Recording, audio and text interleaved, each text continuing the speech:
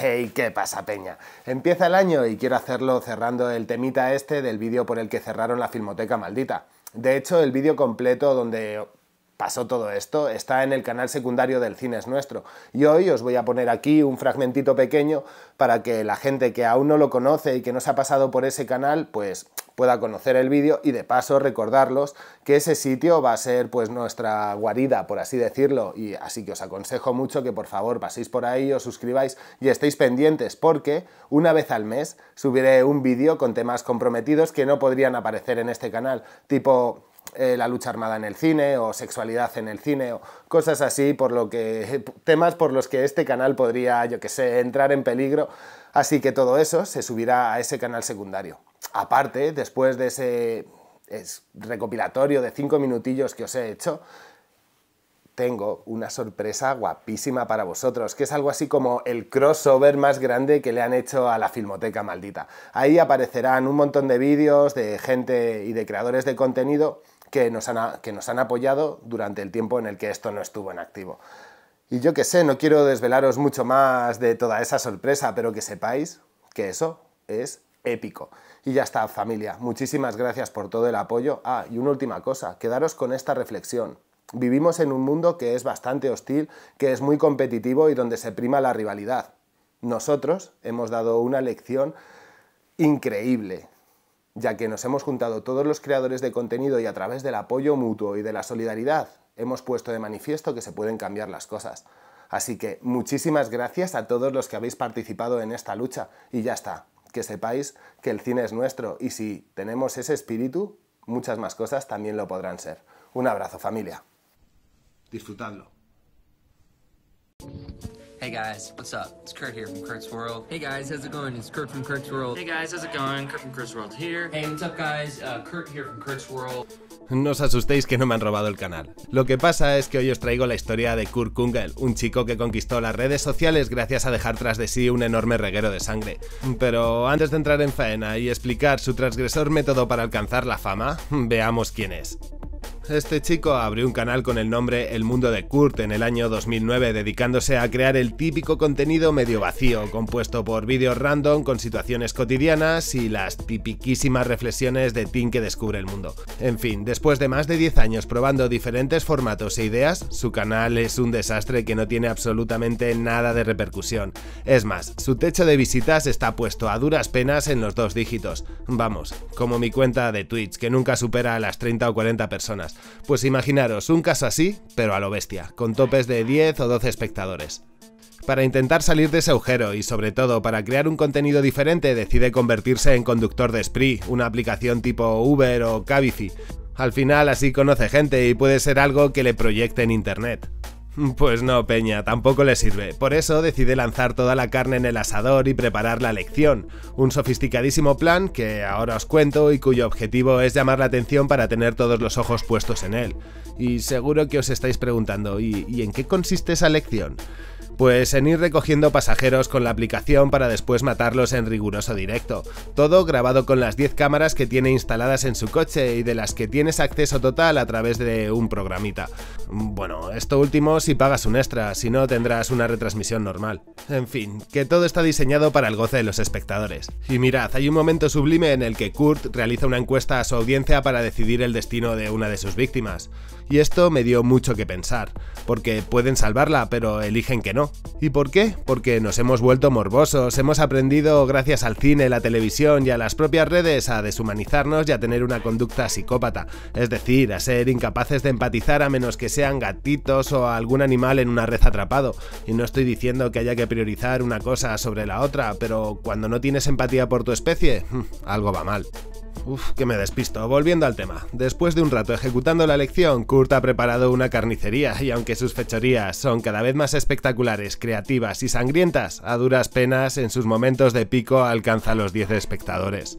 Y aquí surge otro tema interesante, ¿por qué no le están yendo bien las cosas y no aumenta su SARE? Principalmente porque la gente ya está acostumbrada a los montajes y a las situaciones bizarras para llamar la atención, pero sobre todo por las propias plataformas virtuales y es que es prácticamente imposible que Instagram, Facebook o Twitch promocionen ningún canal de 3 a 50 seguidores, y hay tantos con esos números que al final todos acaban ahogados en un mar de indiferencia.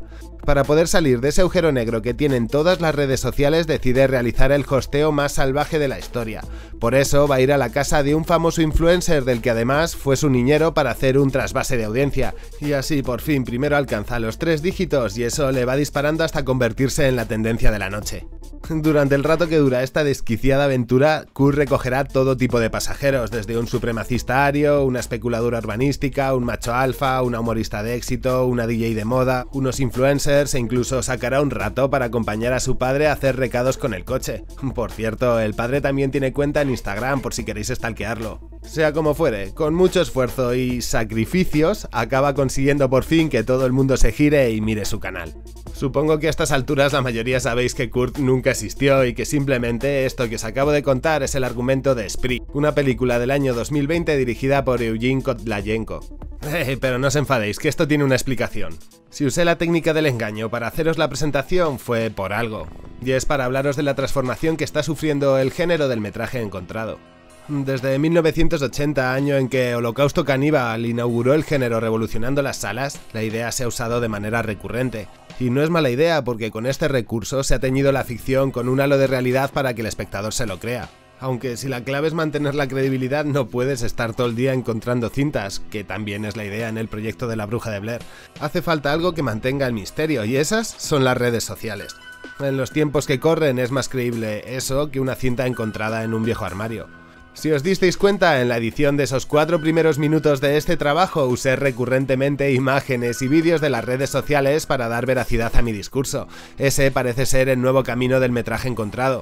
Ya no es una cinta perdida, sino contenido sacado de algún canal perdido de la mano de Dios con sus 80 seguidores. Dross, que es un tipo inteligente, suele hablar en sus vídeos de metrajes encontrados. Además, suele remarcar que no se diseñaron con el propósito de asustar, sino que son fragmentos de la cotidianidad donde pasa algo fuera de lo normal.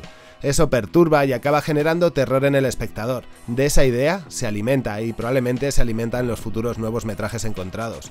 Volviendo a Spree. Sin duda es una cinta que sirve para reflexionar sobre lo sabe leer hacia dónde caminan las enfermedades mentales de nuestra era y explora una posibilidad que aún no se ha dado, aunque, bueno, si lo pienso un poco, o el artista musical que triunfa con su propio sello en internet. Ya sabéis de quién os hablo, de esos músicos que no son productos, aunque se diseñaron a sí mismos mirándose en productos, lo que yo llamo llorando en la limo style.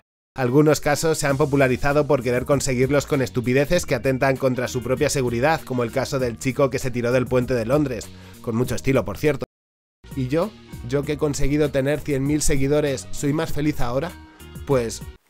Y bueno, hasta aquí, si queréis el vídeo completo ya sabéis, lo tenéis ahí abajo en la descripción y suscribiros al canal, mirad que no lo digo nunca, pero en este caso es importante suscribiros al canal. Ahora os dejo con todos los creadores de contenido que nos apoyaron. Sé que hay muchísimos más que no me hicieron vídeo, pero estos son los que más prisa se dieron y los que ya me lo lanzaron. Si no los conocéis, pasaros por sus canales, suscribiros y si podéis, dejadles en la caja de comentarios un mensaje diciendo pues que venís de parte de la Filmoteca, que formáis parte de la comunidad maldita y que muchísimas gracias por su apoyo. Y ya está. Ahora os dejo con este momentazo epiquísimo de la historia del YouTube hispanohablante. Nos vemos familia. Chao.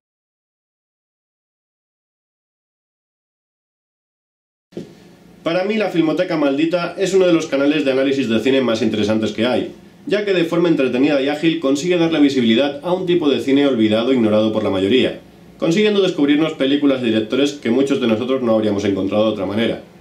YouTube siempre habla de lo mucho que hace por apoyar la cultura y la diversidad, así que espero que se den cuenta de que han cometido un error al cerrar un canal que desde su inicio le da voz a la cultura de aquellos que no tienen detrás industrias millonarias, a las minorías que en realidad son mayoría y a los marginados que dedican su vida al arte. Salvemos la filmoteca. El cine es nuestro.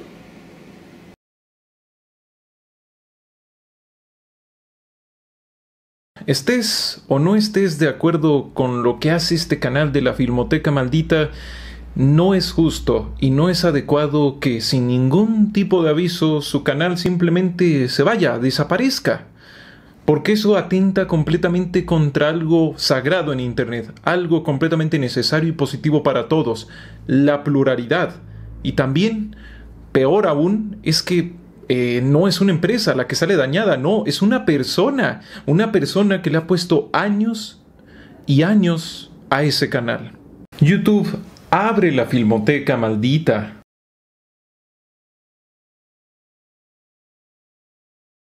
La censura en los tiempos que corren es inadmisible, y menos en un medio como YouTube que tendría que permitirnos ser más libres con nuestros proyectos. Lo que ha pasado con el canal La Filmoteca Maldita es inadmisible. Se ha censurado ese canal, simplemente no hay otras palabras que no sea censura para lo que han hecho con el canal. Mi nombre es Iván de Coffee TV y quería brindar mi apoyo totalmente al canal La Filmoteca Maldita y pedirle a YouTube, Latinoamérica, España y del mundo que sea devuelto absolutamente su canal sin strikes ni nada, porque simplemente es censura.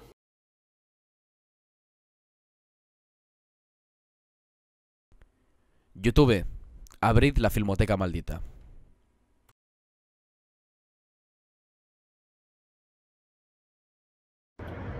Hola, yo soy Maximiliano Contenti, soy director de cine y le pido, le exijo a YouTube que nos devuelva la Filmoteca Maldita.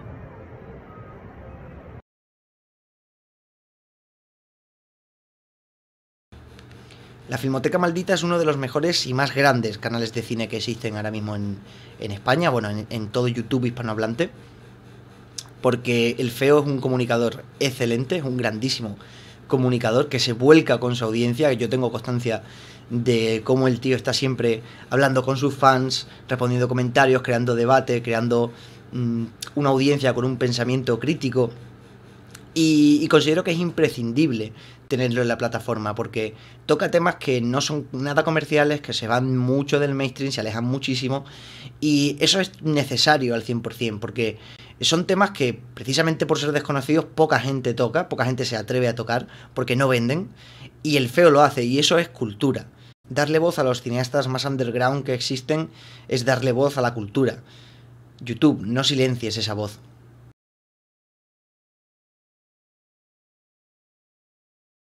Muy buenas a todos, somos Roti y Síncope. Muy buenas. Y como buenos amantes de lo perturbador y del cine en general, pedimos desde aquí que no se nos censure a los canales de cine. A ningún tipo de creador, ningún tipo de contenido, pero hoy nos estamos uniendo todos por el hashtag abrir la filmoteca maldita. Así que devolverle el canal al feo para que podamos seguir siendo una comunidad fuerte.